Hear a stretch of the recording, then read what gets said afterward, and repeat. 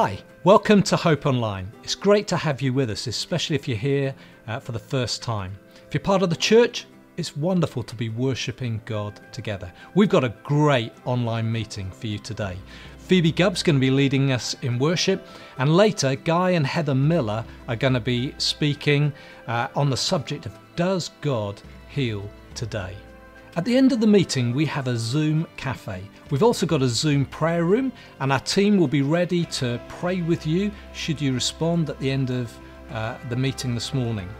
I was reading from Romans chapter 11 this week. Let me read it to you as we come into our time of worship.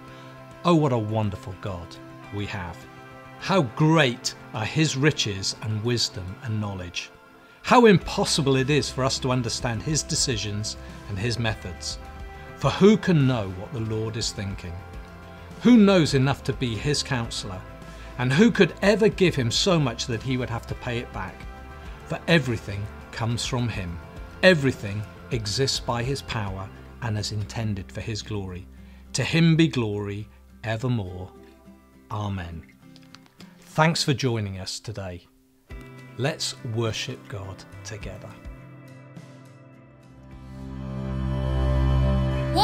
Two,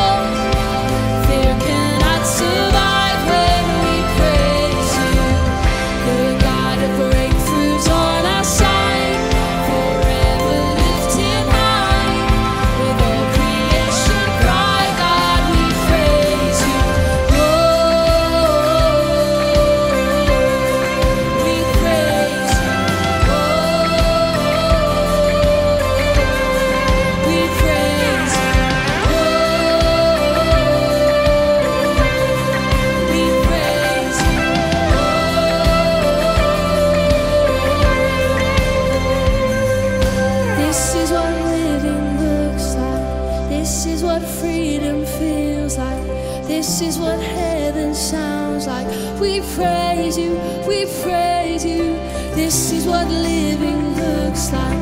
This is what freedom feels like. This is what heaven sounds like. We praise you, we praise you. This is what living looks like. This is what freedom feels like. This is what heaven sounds like. We praise you, we praise you. This is what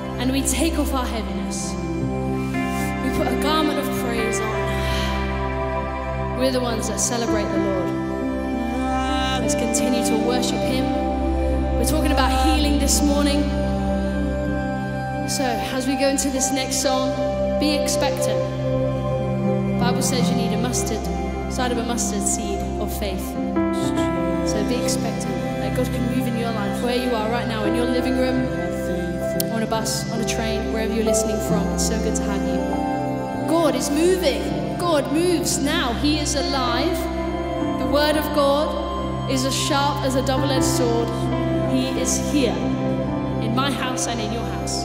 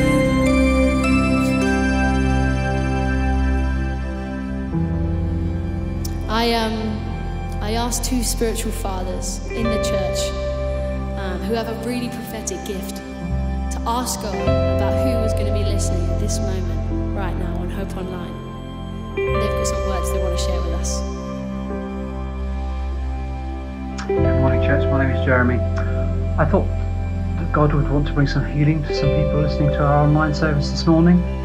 If you have a problem with your intestine, or you might have a problem with a twisted colon, I felt that God would want to heal you in that area of your body. I'm going to pray in a minute, so if you want to place your hand on the area of the body that's affected.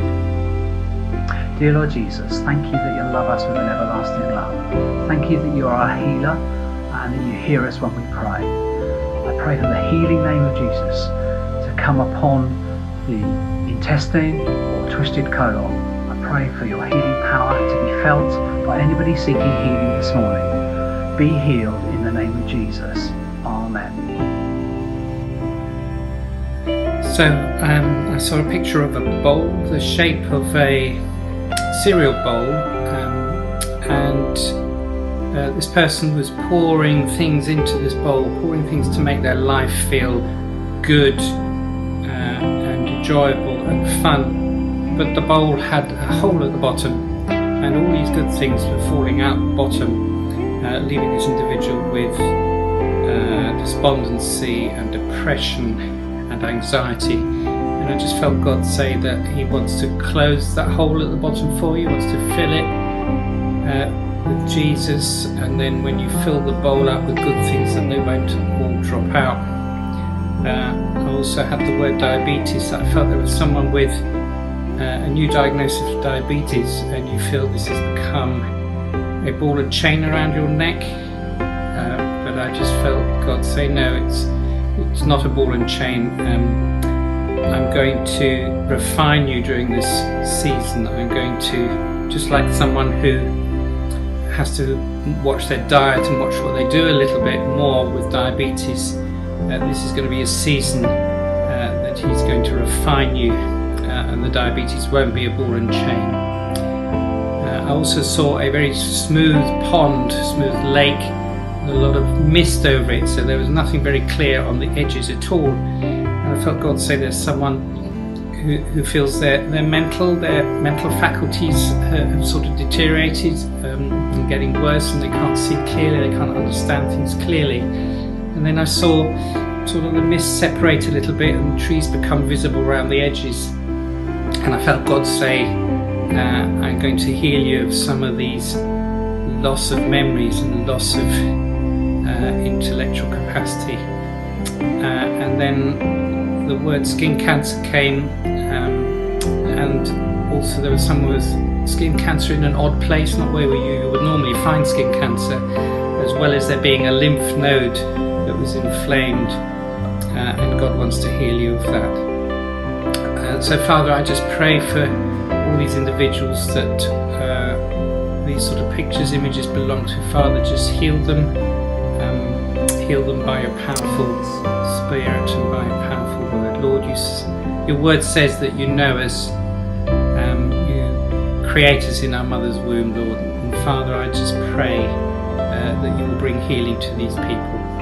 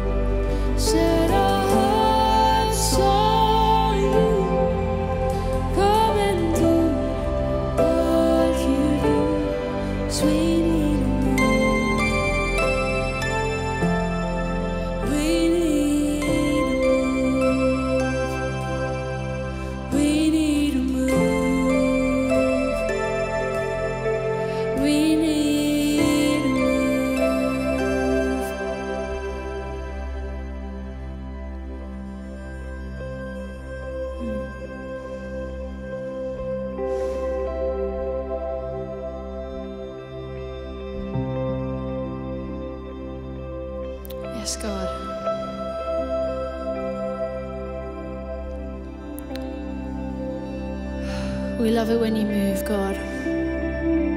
You're Rapha, our healer. You're Elohim, the God who sees. You are my banner. You are our banner, Jehovah Nisi. Thank you, God. Thank you, God. It's by your precious blood of Jesus that we are saved and we're healed.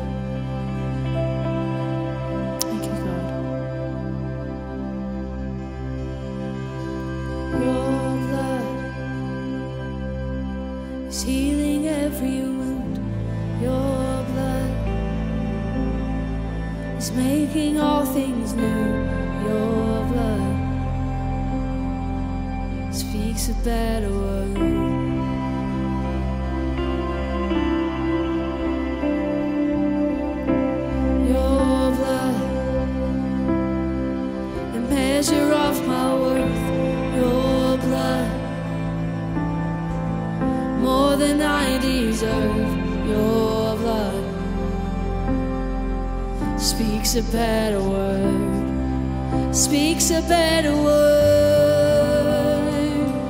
It's singing.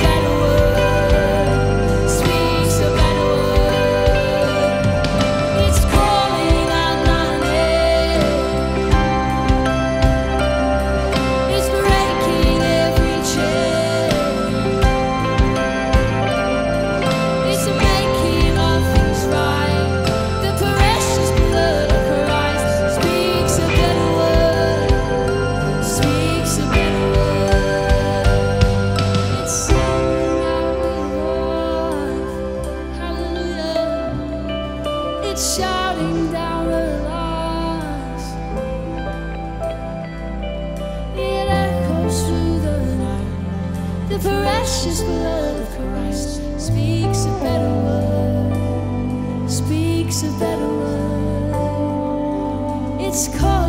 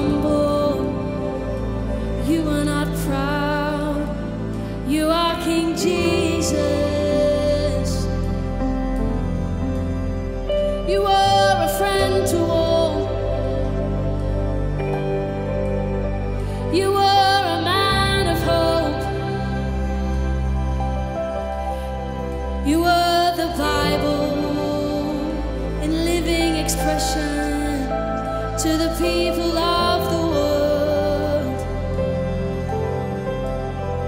You are King Jesus, the Lamb that was slain.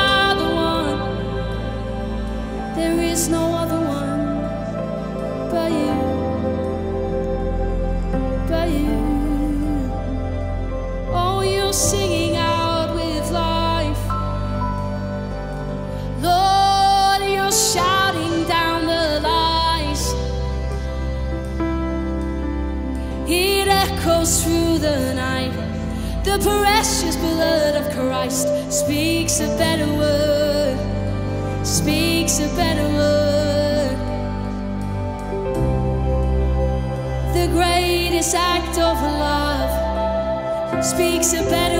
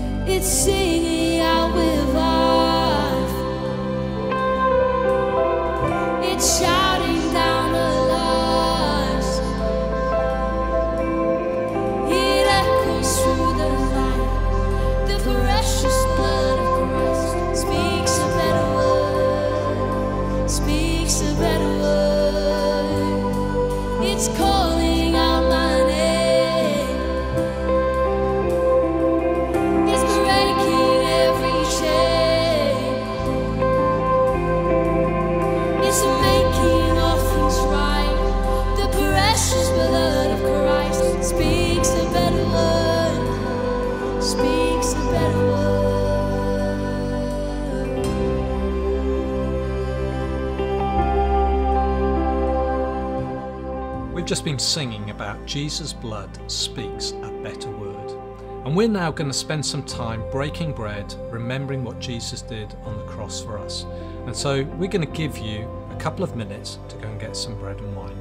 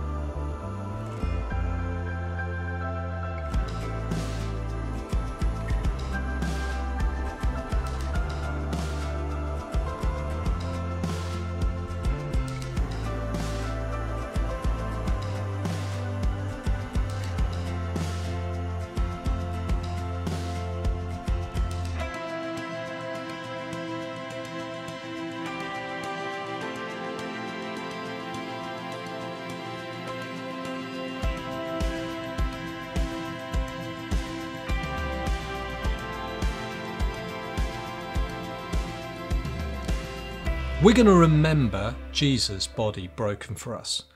We're going to remember that God punished his son instead of us. We're going to remember that Jesus' blood was shed for us. Without the shedding of blood, the Bible says there's no forgiveness of sin. And our sins have been forgiven because of what Christ did on the cross. I'm going to read some verses from Isaiah chapter 53 I want you to listen to them and let them sink into your hearts and your spirits this morning.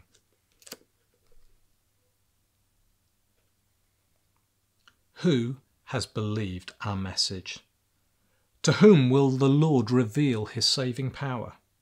My servant grew up in the Lord's presence like a tender shoot sprouting from dry ground and sterile ground. There was nothing beautiful or majestic about his appearance, nothing to attract us to him.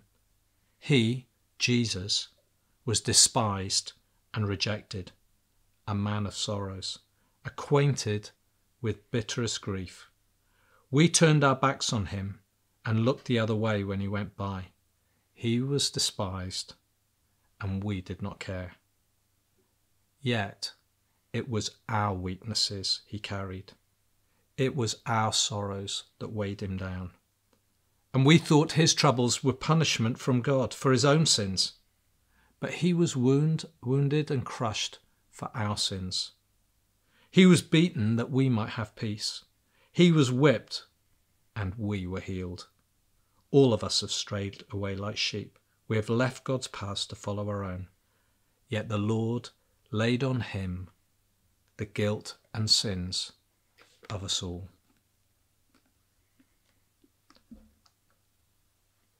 We're going to take this bread and we're going to remember Jesus' body broken for us. We're going to take this wine and drink it, knowing that our sins are forgiven.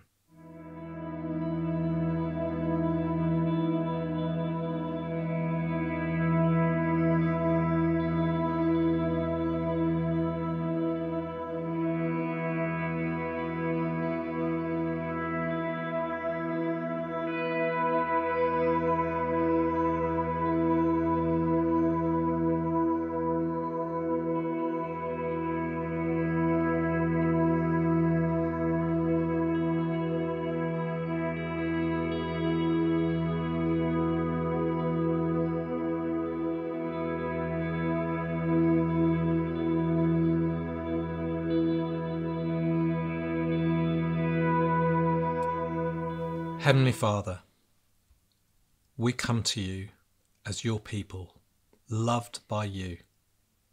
We thank you that you sent your Son, Jesus, to die for us in our place. We thank you that because his body was broken, we can be forgiven. Thank you that our sins are washed away because his blood was shed. We are so grateful, Father, for your great love demonstrated in the fact that you gave your Son for us. We thank you that he bore our sorrows and our pain, and by his stripes we are healed. And Father, I want to pray for each and every one of us watching today. I pray that you would come by your Spirit and touch our hearts afresh, that we would know the wonder of Christ and all that he has accomplished for us and all that means for us in these days. We love you. You're an amazing God. You're our Father. We worship you. Amen. It's my great joy and privilege this morning to introduce to you Guy and Heather Miller. Guy uh, leads Commission, the family of churches that Hope Church is part of. He's a good friend. I've known Guy and Heather for many years, and uh, it's my pleasure to introduce them and welcome them amongst us today.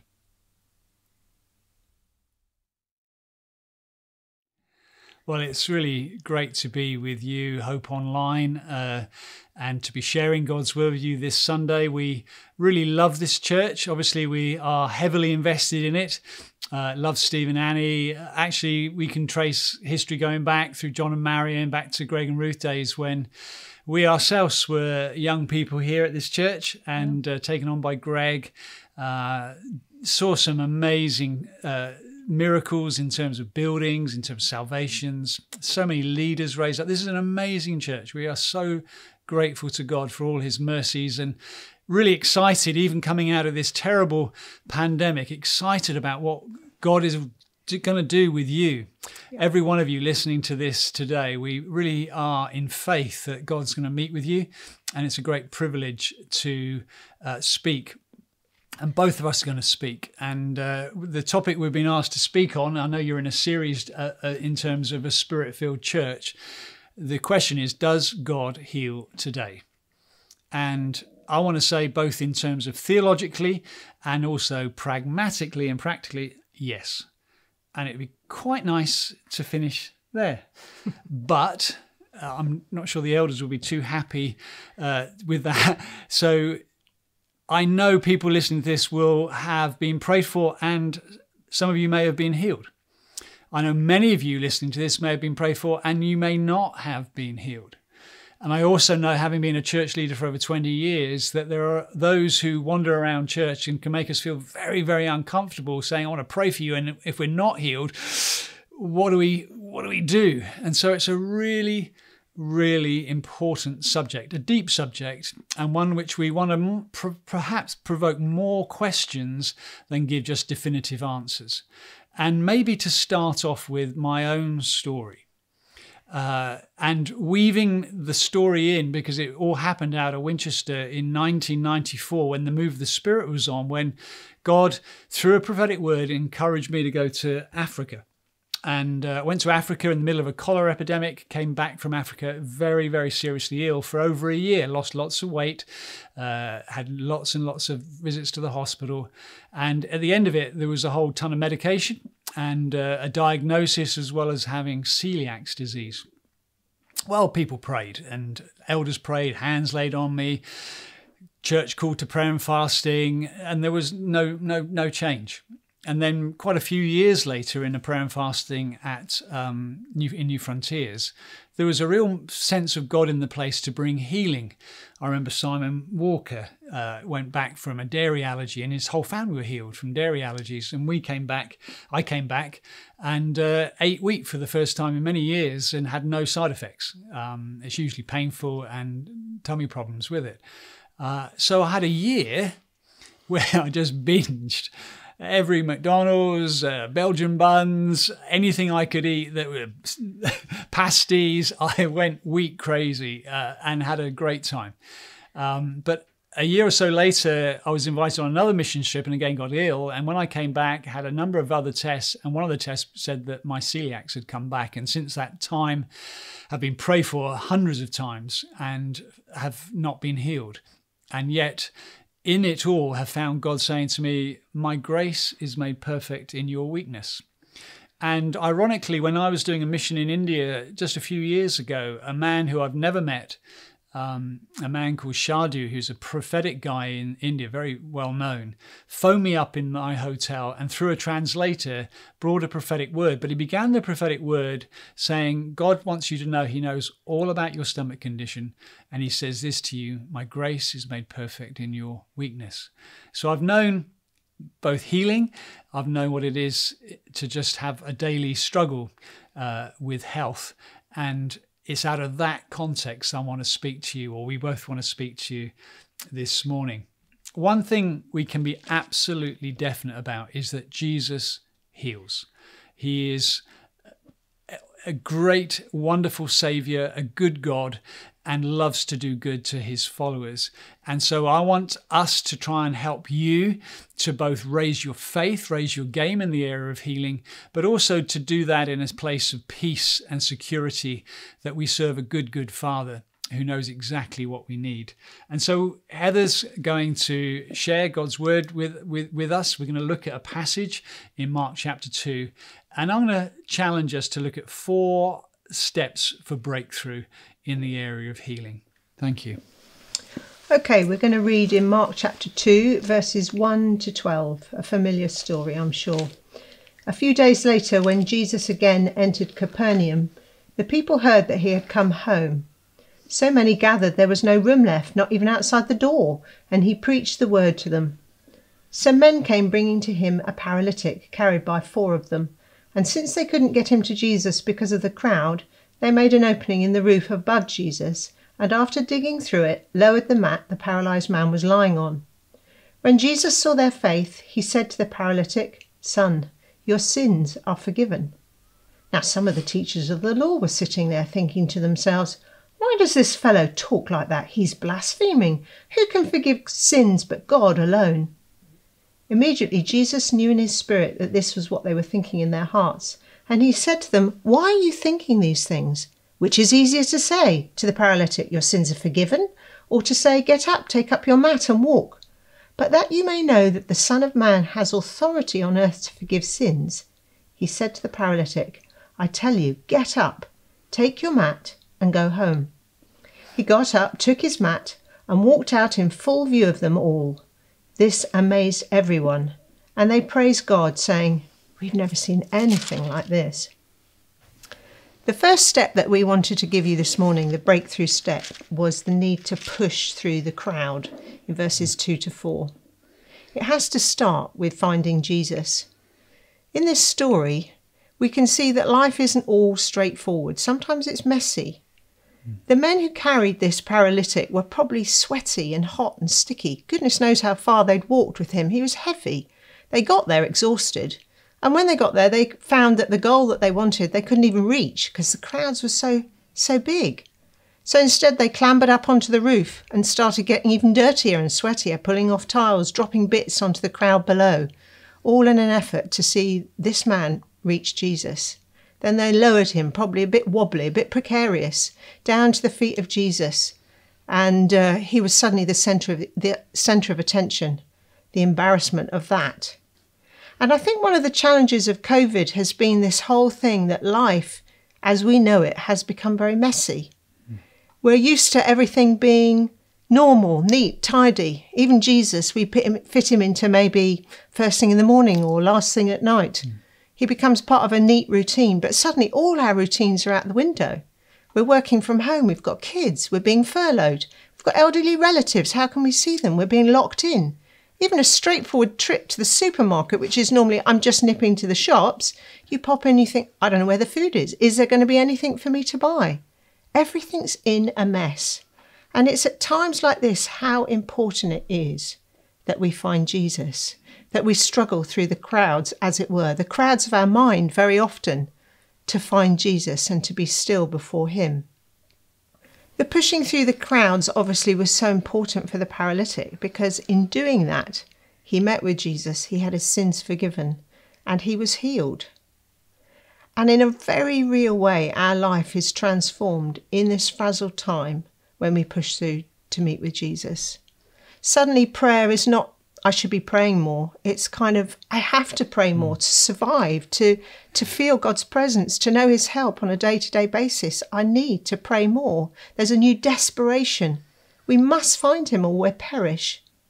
And He's never more present than when life is a struggle. And He says to each one of us at this time, Don't fear, for I am hmm. with you. So that's the first breakthrough step pushing through the crowds. The second we would suggest is breaking man made structures. And this particular miracle did not take place in a temple, it took place in somebody's home. And it's interesting that in this present crisis that many of our man-made structures, our beautiful buildings that we've mm. worked so hard to get, have suddenly become obsolete. Hardly mm. anybody in them. We can't invite people to church. We can't go to church ourselves. So, how important it is that we bring church to the people. And I think many people would say that suddenly the community that was so close and so special in church has now become a wider community. We're reaching out to neighbourhoods and friends and people over the over the fence. Even in London's busy, inhospitable blocks of flats where nobody knows anybody, suddenly things have started to change. People are pushing notes through letterboxes. They're dropping off food parcels. They're talking and asking, How are you? Are you coping? We're helping each other. We're becoming a community. That has changed and it's a good thing. Hmm.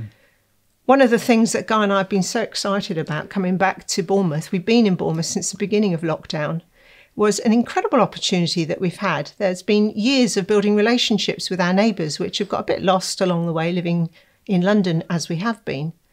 But recently we've had three street services. The first one was Easter, the second one was Pentecost, and the third was just last Sunday, uh, where we celebrated together the wonderful NHS. And uh, we met, 30 or 40 of us, socially distanced out on our streets. We had PA and we had a service. We all sang Amazing Grace together. We all listened to somebody explain how that story, that, that hymn came into being. We had the Lord's Prayer. We prayed together. And then afterwards, had it's an amazing opportunity to go and chat to our neighbours and hmm. had some incredible conversations and opportunities as a result. And this is all as we've got out of our church building and we've got out on the streets. And the final little story I want to tell you about in terms of that is this whole thing about healing. It's it's much easier to pray for healing when you're in a church, hmm. but get out on the streets.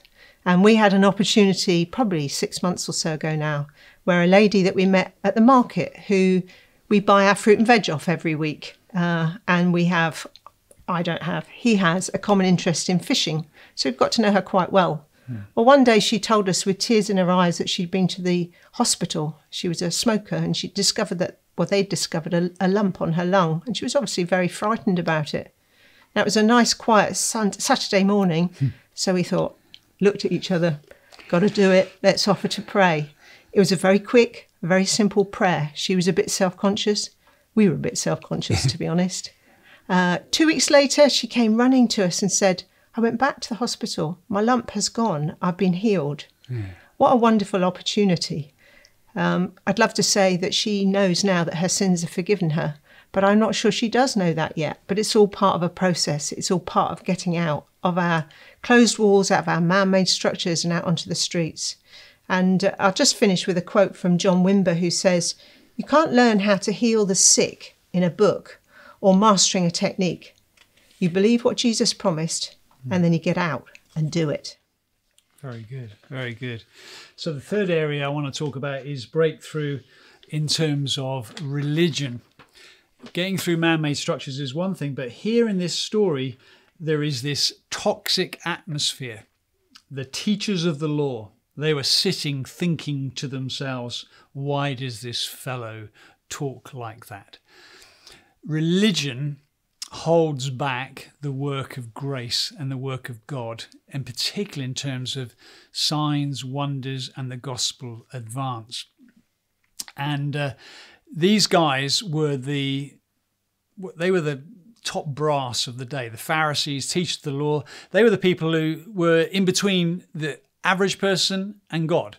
They spoke on God's behalf. They knew how God acted. They had a very, very strict discipline. They they would they had the us and them. There was the sort of Gentiles, there was the pigs, the dogs, and there were the righteous ones. They were the leaders of the righteous ones, and they would explain the actions of God through His Word and through history and Jesus didn't fit their category. He didn't it didn't fit into the way in which God should act or speak or behave. And Jesus is in a room and he's addressing this, and you've got to imagine the atmosphere being very, very tense. And that tension being broken as the tiles and the dust start to fall. Uh, people are wiping dust off their heads, lifting a bit of plaster off their uh, brow, and uh, here comes a human spider being lowered, curled up on a mat, and dropped in front of them. And they are, you, you almost feel like and sucking like on a lemon to see this is really not the proper way to behave, even in front of a rabbi. And uh, they were li- listening to what Jesus was going to say. And all this was going on in their minds.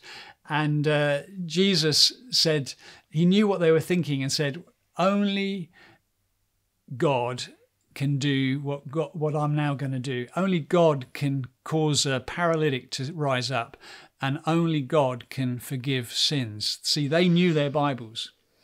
They knew that when Jesus says what is easier, they knew that anyone who said your sins are forgiven you was claiming to be God, and for that, for them, this was a, this was absolutely awf- an awful thing.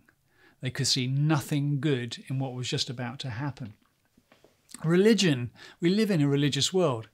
Religion is all about looking good. It's all about our robes, our behavior, our buildings, our impressive words that we say. Uh, particularly when it comes to law. We, we like to give laws to people. We like to say this is the way we behave. We all have to dress in a, in a certain way or act in a certain manner. We can't go to certain places. And religion is like bad breath. It stinks. Everyone else knows it stinks, but the person who is religious. And Jesus is getting right into the the, the nitty gritty of why God is often kept at arm's length and why God can do no mighty works in the midst of people who are saying, Where is God? because of unbelief, because of a religious spirit that tends to dominate. And we must be very careful not to point the finger and think, well, yes, that group of Christians wouldn't see healing, or or those, that other faith is is is a mile away from God, when actually God would challenge us that we can be very religious ourselves. We can have a religious spirit when it comes to thinking of healing. We can think of a number of ways in which we think God should behave in order to bring healing. And what we wanted to encourage you today is to think about actually, you can't put Jesus in a box. Jesus is God. He can do whatever, whenever he likes. And we must be very, very careful to watch out for a religious spirit that puts Jesus at arm's length from the need that is around us. So, th- three ways in which this might happen. Let me suggest one. We might think, oh, they're sick, leave it to the elders or leave it to the ministry team, leave it to the professionals, let, let the people who've got some skills, people who've gone to Ellel Grange, don't they know what they're doing? Hand it over to them. They're going to sort it all out. I'm, I'm off the hook. Whew.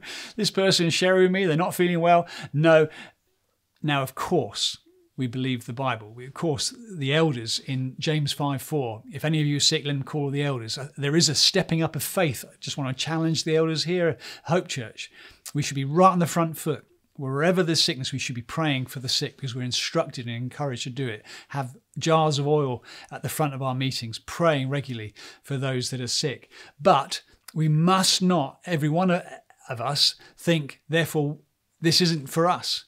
Jesus, in his commissioning of his disciples, talks about going out into the highways and byways and bringing the kingdom of God. And part of that is lay hands on the sick and they will get well. Mm. A bit like that story Heather told. Just laying hands, praying in the name of Jesus.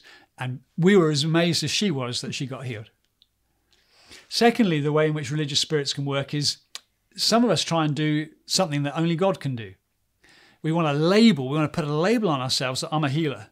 I'm a, I'm, a, I'm, someone who moves in the supernatural. I, I, I can do this because I've been trained. I can do this because I'm on a hotline to heaven. I, I'm closer to God than everybody else. I, I'm more anointed, more gifted, more called than anybody else. And you sometimes meet people who come into church for the very first time and, and slap a label on themselves. I'm a healer. I think we need to walk with humility with healing. It's only God who heals. Mm. We're encouraged to pray for the sick, every one of us to pray for the sick, but it's God who heals. And we are just connecting like a little link. We're just a little link in the connection from the divine arm of omnipotence and the need on planet Earth. And the thirdly, third thing, Heather's mentioned already in terms of religion, we can like to play on our home turf. If you're a football player, you'll understand what that means. We like all the games to be at home. Actually, if we're to see the kingdom of God expanding, many more people being saved, many more miracles, we must take this mm. to our neighbors, to our friends, to the highways and byways and streets, because there's a world that's suffering. Mm. And most of the miracles recorded in Jesus' ministry and in the Acts occurred outside of the four walls of buildings. Mm. So let me encourage you to up your game. We want to up our game as well. Maybe once a month, encourage each other when you hear a person who says, I'm unwell, when you hear of a story of a sickness or a cancer, be on the front foot to say, Hey, do you mind if I pray? I'd love just to pray for that in the name of Jesus. The final breakthrough, and that is we need to have breakthrough faith.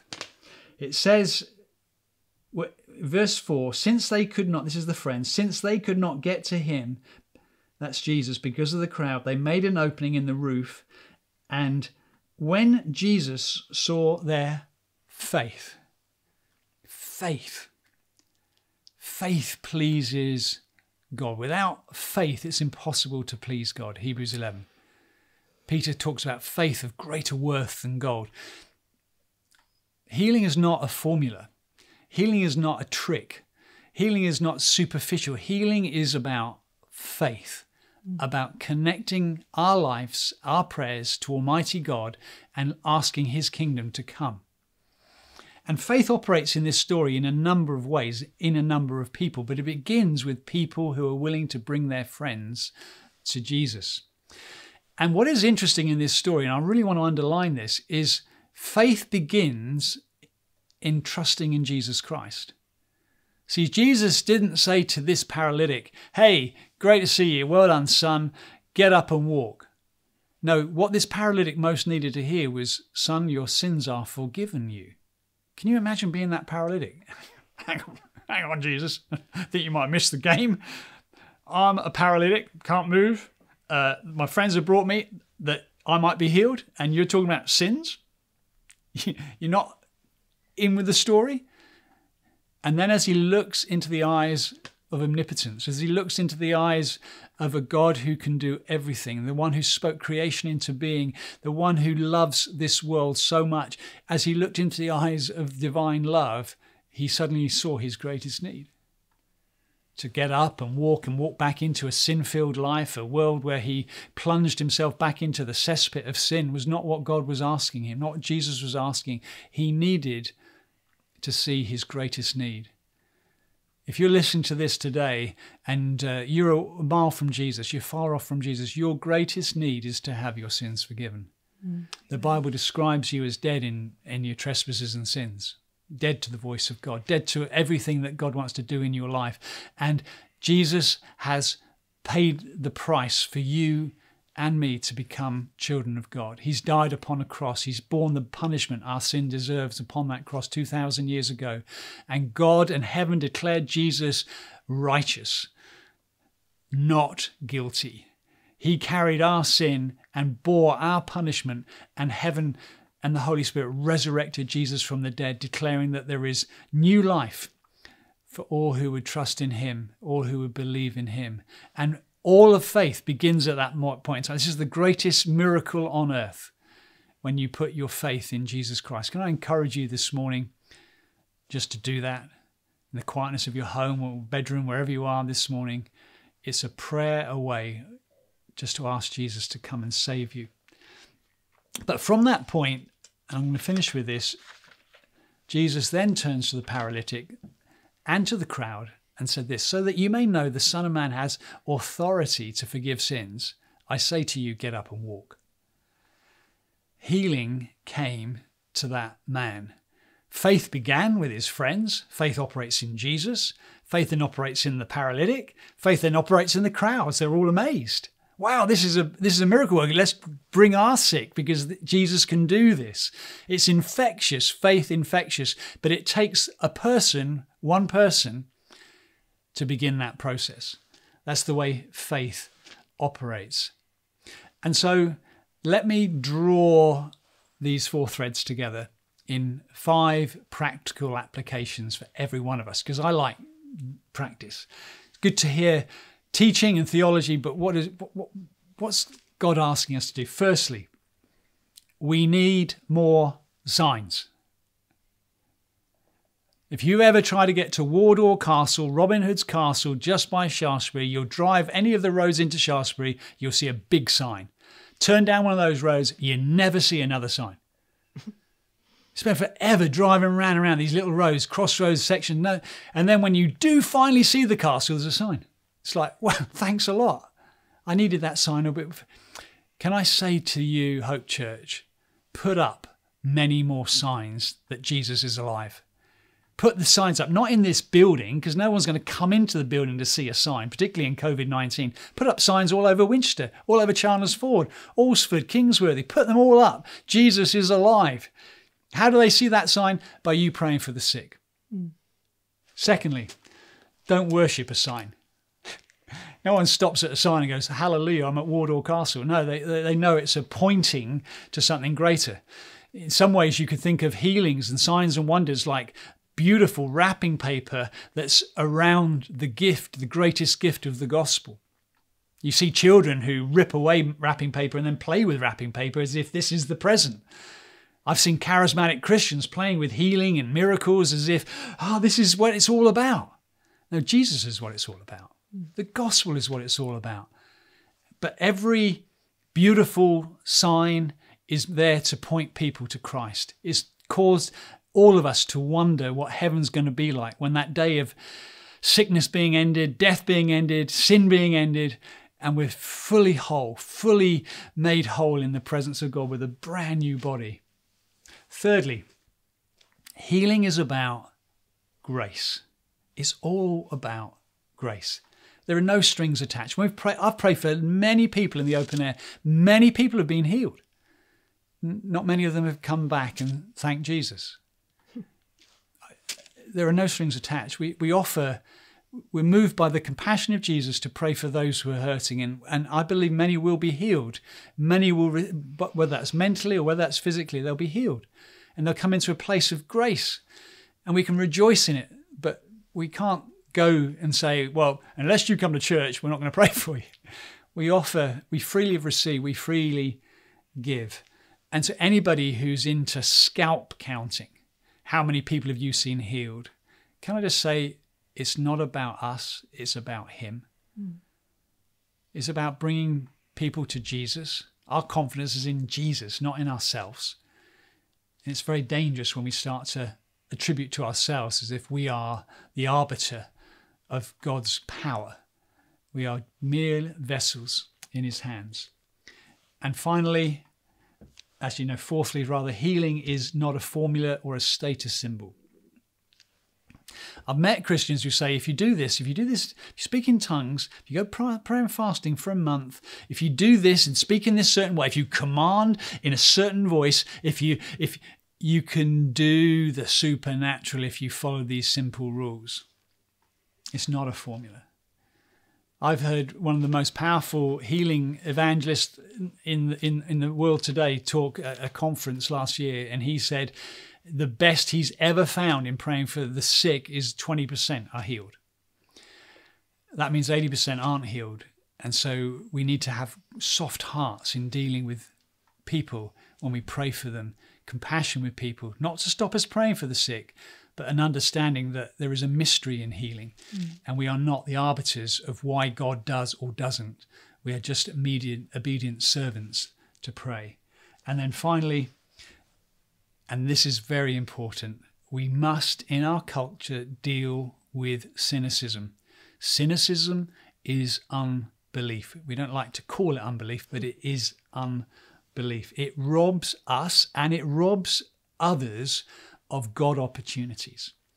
God moments. Jesus could do no mighty miracles in his hometown. Why not? Because, well, we know Jesus. We know how he fell off the tree and scraped his knee, and they would not receive Jesus as the Savior, as the King.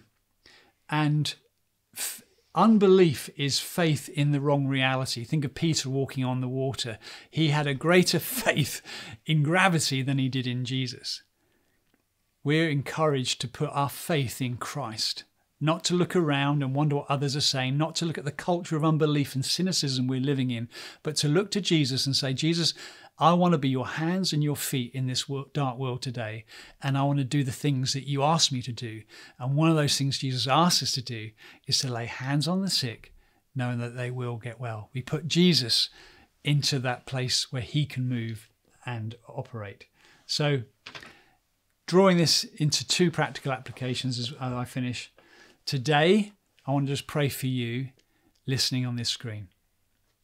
Stretch out your hands right where you are, look into this screen, and I'm going to pray in the name of Jesus Christ of Nazareth, be healed today. Sicknesses go in the name of Jesus where the enemy has come in and there's mental challenges in the mind, depressions and anxieties and fears. I pray in the name of Jesus that you'd set people free. And where there's illness today, where there is pain today, in the name of Jesus, we say go. Mm. And may there be healing in the powerful name of Jesus. Amen. Amen. And secondly, I want you to be on the front foot and go out like we have nervously out onto our streets and to tell others and to be Christ to others, whether that's doing little love acts in terms of dropping notes through, just be on the front foot, brothers and sisters here in Hope, to look to God for miracles. Mm. Look to your neighbour where they're in need and to look to pray. And you'll be amazed how many signs, if we all do this, how many signs are pointing to Christ and how many more people will come to Him in the future. We love you. Wish we could be with you face to face, but God bless you as you put this word into practice. Amen. Amen thank